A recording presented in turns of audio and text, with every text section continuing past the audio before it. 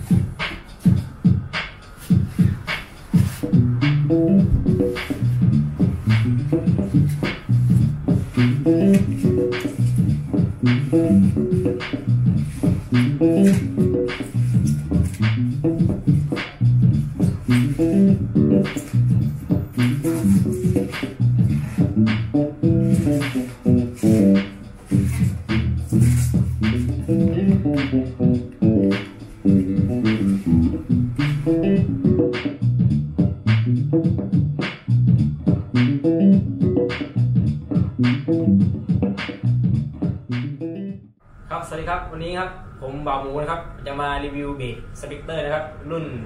Performer Series นะครับ เดี๋ยวเราจะไปดูสเปคกันคร่าวๆนะครับสำหรับเจ้าตัวนี้ก็ผลิตที่อินโดนีเซียครับ สเปคคร่าวๆก็จะมี fret เป็น medium นะครับ แล้วก็ fingerboard จะเป็น amara ebony นะครับ ด้านหลังก็จะเป็นไม้เมเปิลสามชิ้นนะครับ แล้วก็ body ก็จะเป็นไม้นาโต้นะครับ ครับสำหรับส่วนพิกัดนะครับ ตัวหน้าก็จะเป็น Precision นะครับ หรือ PB ที่บ้านเราเขาเรียกกัน ตัวหลังก็จะเป็น Single Coil นะครับ แล้วก็ชุด control ก็จะมีตัวนี้จะเป็น volume control ครับตัวหน้า แล้วก็ตัวนี้จะเป็น volume control ครับตัวหลังก็จะเป็นโทนควบคุมตัวหน้าควบคุมตัวหลังนะครับ จะทำงานคู่กันนะครับผมครับเดี๋ยวเราก็จะมาลองเสียงให้ฟังกันดูนะครับ แต่ละอัพกันเลยนะครับ เดี๋ยวลองฟังดูนะครับ เดี๋ยวจะเริ่มจากกับตัวหน้าก่อนแบบบิดโทนหมดไม่เปิดโทนเลยเดี๋ยวลองฟังเสียงดูนะครับ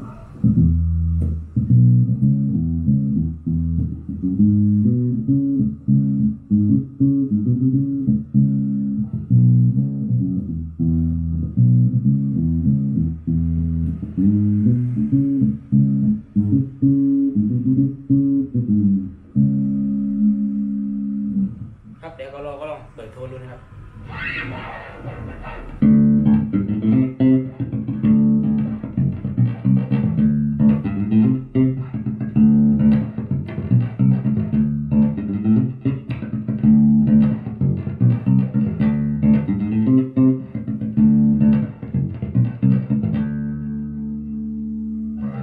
เดี๋ยวเราก็จะมาลองเทียบหลังดูนะครับ แบบไม่เปิดโทนดูก่อน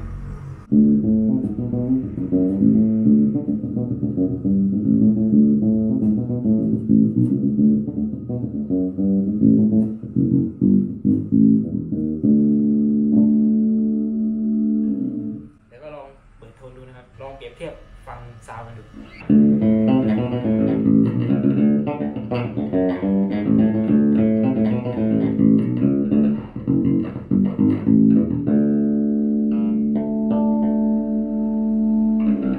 โอเคครับ เดี๋ยว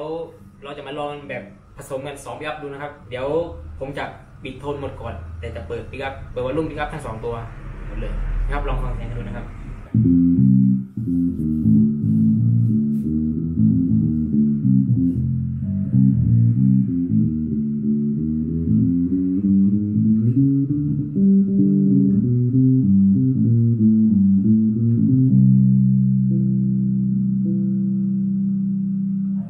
เคครับ เดี๋ยวผมจะมาลองแบบเปิดโทนทั้งหมดดูนะครับ แล้วก็เปิดทั้งสองสองแวบด้วย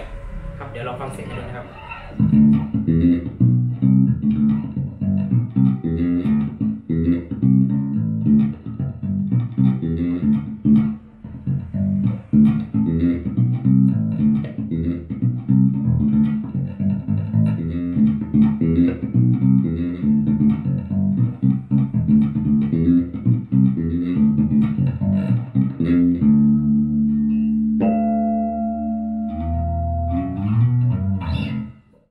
นี่ก็เป็นการลองแบบคร่าวๆนะครับสำหรับเบสสเปกเตอร์รุ่น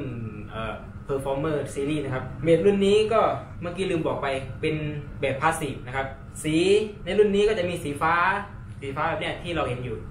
แล้วก็จะมีสีแดง สีดำแล้วก็สีขาวนะครับสำหรับเบสตัวนี้ผมคิดว่ามันโอเคนะครับ คือจะปรับได้กว้างมาก เราสามารถเลือกปรับเอาผสมเอาแล้วแต่ความที่เราต้องการเลย ซึ่งเหมาะผมคิดว่ามันเหมาะสำหรับผู้ที่เริ่มต้น แล้วก็มืออาชีพนะครับ สามารถไป เอาไปใช้งานได้จริงได้สำหรับผู้ที่สนใจนะครับ ก็สามารถติดต่อกับตัวแทนจำหน่ายได้เลยนะครับ ติดต่อไปขอลองขอซื้ออะไรนะครับ ติดต่อติดต่อได้เลยนะครับสำหรับวันนี้ผมนะครับบ่าวหมูรีวิว ก็จบแค่เพียงเท่านี้นะครับสำหรับคลิปหน้าเราจะมีอะไรมารีวิวกันอีกเดี๋ยวเชิญติดตามกันนะครับคลิปหน้านะครับผมขอบคุณมากครับ